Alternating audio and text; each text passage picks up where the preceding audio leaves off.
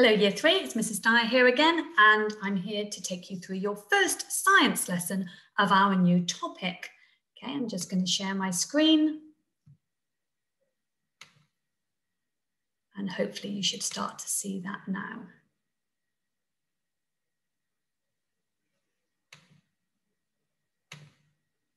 There we go. So a new science topic for our new term. Our science topic is all about humans and other animals. And what we're going to be looking at first is food and eating and all different types of food groups and nutrition. And this ties in really nicely with our DT topic um, and your geography topic that you're going to be starting next week. Okay, let's move on. Here is your date and WALT. So in a new, on a new page in your book, if you'd like to write today's date and the WALT, just pause the recording for a moment so that you can get that done. So our WALT today is to explain why animals, including humans, need the right type of nutrients. Now, there might be a word in the WALT there that you don't understand.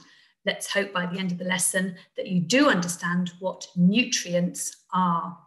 Have a look at the steps to success underneath, because that's going to help us achieve our WALT today. So the first one, I can explain how plants obtain food. Maybe you'd like to have a think about that. How do plants get food? Do they eat? I can explain how animals, including humans, obtain food. Do we do it in the same way that plants do?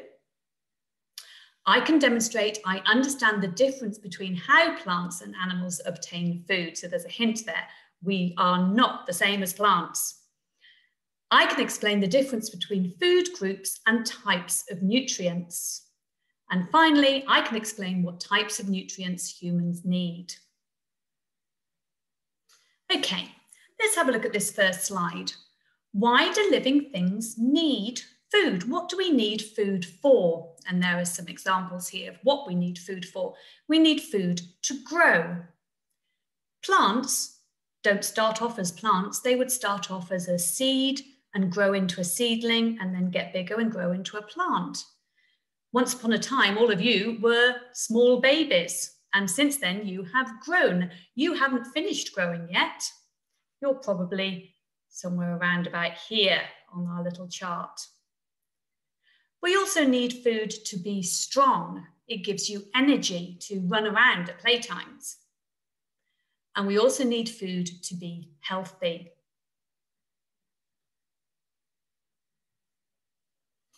Here's a picture of a nice sunflower.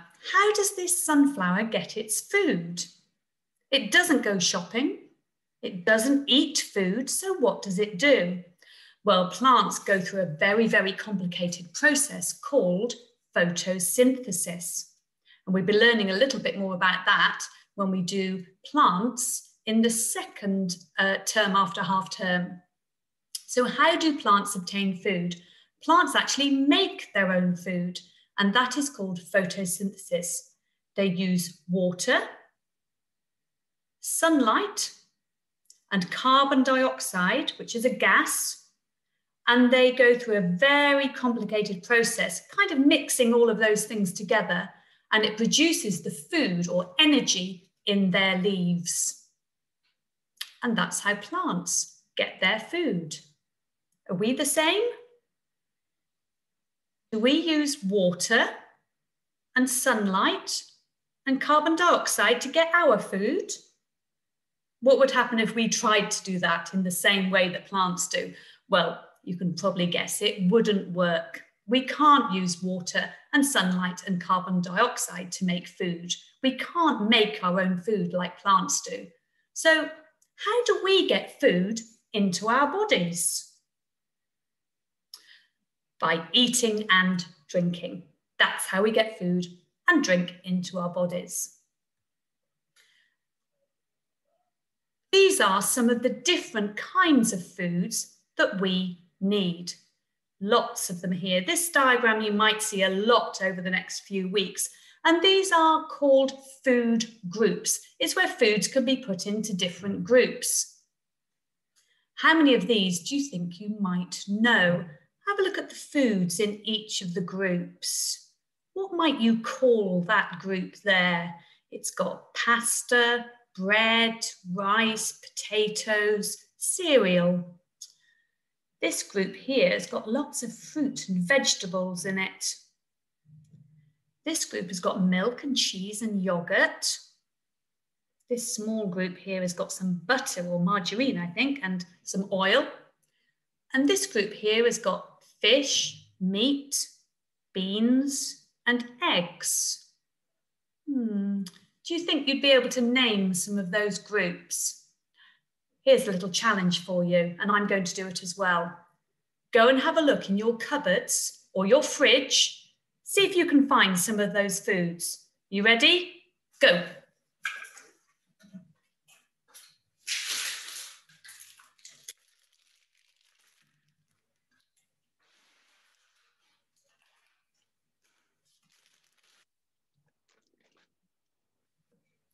Okay, I'm back. Okay, I'll just give you a couple more moments to see if you can get some of those foods in there and I'll share mine with you as well.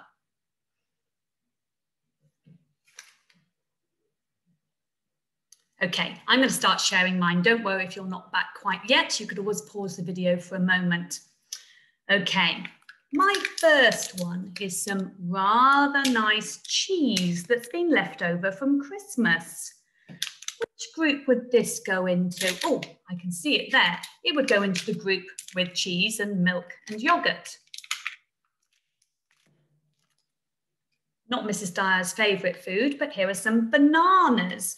Which group would they go into? Ah, I can see bananas there on our food group, so that would go with the fruit and vegetables.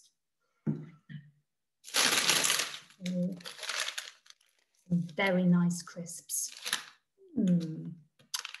Which group would these go into? Now I know crisps are made from potatoes. So would they go into the group with potatoes and bread and pasta?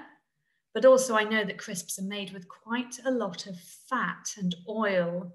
So would they go into the group with the butter and the oil? Hmm, I'm not sure about that one. Let's finish with a nice easy one. Here are some nice green beans. Again, these would go into the, excuse me, the fruit and vegetables group. Have a look at some of the ones that you found. Would you be able to put those into the different food groups? And like me, have you got any that are a little bit tricky? Hmm. Let's have a look at the next slide, see if that helps. Here are our food groups that we've just looked at. And did you get the right names for them? So here we've got bread, rice, potatoes, and so on. And these are quite starchy foods, the sorts of foods that fill you up. This group here, you might call your dairy products or dairy food because a lot of them are made from milk and milk comes from a cow and it, they need to get the milk in a dairy. Oils and spreads, so that's with our oil and butter or margarine. Meat, fish, eggs, and our fruits and vegetables. So here are the food groups for this diagram here. Hopefully you were able to get lots of those correct and maybe put some of your foods that you got from your cupboards and fridge into those groups. But there are some foods which are a little bit confusing, like my packet of crisps. Also, what about my cheese? Now I know cheese is made from milk, but also cheese is very, very fatty. So maybe that should be in the other group as well. Hmm. Okay, so in science, sometimes we use those food groups to put group, uh, foods into different groups. But if we were being a little bit more scientific, we would actually look at this diagram here, which looks at the nutrients which are in the foods. So there is a slight difference between these two diagrams. So these are food groups and these are types of nutrients. And these words down the side are a little bit more scientific. And we can look at what is in a food or what a food is made up of. So these foods at the top, like bread, pasta, apples and potatoes, they have a lot of carbohydrate in them. These foods here, meat, fish, beans, yogurt, they contain a lot of protein. Fats, well, look at that group. Nuts, oils, avocados, butter. Mm, I can see chocolate in that group as well. And then along the bottom here, we've got vitamins and minerals. So vitamins, lots of your fruit and vegetables will be in that group. Minerals, we can see milk is now in this group. Water and fiber. So these are the nutrients which are in foods. And this is called the nutrient pyramid. So there are seven types of nutrients. There we can see them there. Most foods contain more than one type of nutrient. So this is why this way of um, grouping the foods is a little bit more scientific. So my cheese, not going to go into a dairy group anymore. This would now be in the fat group. That's because the most nutrients in cheese is fat. My beans would go into the vitamins group. My bananas, can you see where that one is? Oh, this goes into two groups because it contains a lot of both. It contains minerals and they contain a lot of fiber. What about my packet of crisps? It is made from potatoes, but I think it's probably going to go into the fat group because it does contain a lot of fat. So an example on here is cereal. Now, we know that cereal does contain a lot of carbohydrate, but it also contains a lot of fiber. And that is the main nutrient that that is giving you. So that's why it's in the fiber group. Other things for you to remember, vegetables contain a lot of water. So that's why in this group here, we've got things like broccoli. Broccoli, very good for you because it does contain vitamins, but it also contains a lot of water. Let's just go through each of the groups very quickly because we need to know why we're eating these foods and what nutrients they're giving our bodies and what those nutrients do for us. So here is the protein group. Proteins help your body to grow and repair itself. So as children, you need a lot of protein in your diet at the moment because you're doing a lot of growing. And also when you cut yourself, when you fall over, your body needs to repair. So you also need protein to help with that. Foods which are high in protein are meat, fish, beans, and yogurt. We've also got eggs in the picture there. So that's what proteins do for you. What about carbohydrates? Carbohydrates are the foods which give you energy. That's why it's really important to have something like cereal, porridge in the morning, because that's going to give you energy for the morning. So foods high in carbohydrates, bread, pasta, fruit, and potatoes. The next type of nutrient are the fats. These also give you energy and also help to keep your body nice and warm. Foods high in fats are nuts, oils, avocados, butter, but look, we've also got that chocolate there, like I said before, and cheese, very high in fat. Oh, and there's my crisps there. Very important group, the vitamins. Vitamins help to keep your body healthy. Foods high in vitamins are oranges, carrots, beef, nuts, lots of fruit and vegetables in this group. And minerals, minerals also help to keep your body healthy. Foods high in minerals include milk, spinach, salt, and sweet corn. We've also got a banana there. One for you maybe to remember, milk. What's milk good for? Milk is good for your teeth and your bones because it contains a mineral called calcium, and calcium helps very strong teeth and bones. And I always used to remember that milk is white and your teeth and bones are also white. That's what it helps to keep healthy. Now, this seems quite a strange one to think of as a nutrient. How can water be good for your body? Well, water helps everything to move through your body and get rid of waste at the other end. It's an essential nutrient for your survival. While it's really important to drink plenty of water, lots of foods also have water in them. So you should be drinking water every day, but also foods contain water, such as tomatoes, cucumbers, lettuce, and strawberries. And our final group, our final nutrient group is fiber. Fiber helps you to digest all the food that you have eaten. It doesn't actually provide you with any nutrients or goodness itself. It just helps everything else move through your body. So foods that are high in fiber are cereal, apples, whole grain bread, and lentils. There's our banana there as well. Okay.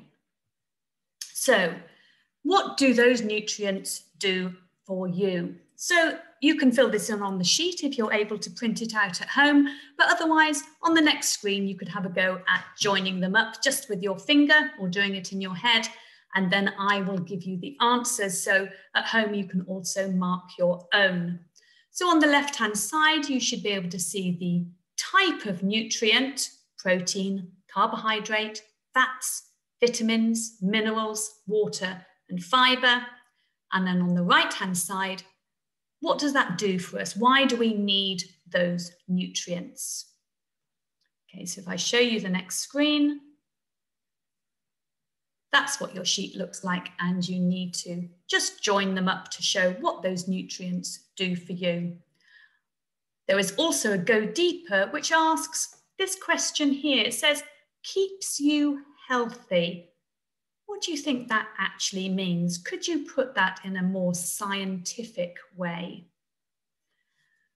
Okay, you might want to just pause the recording now so that you can have a go at this activity.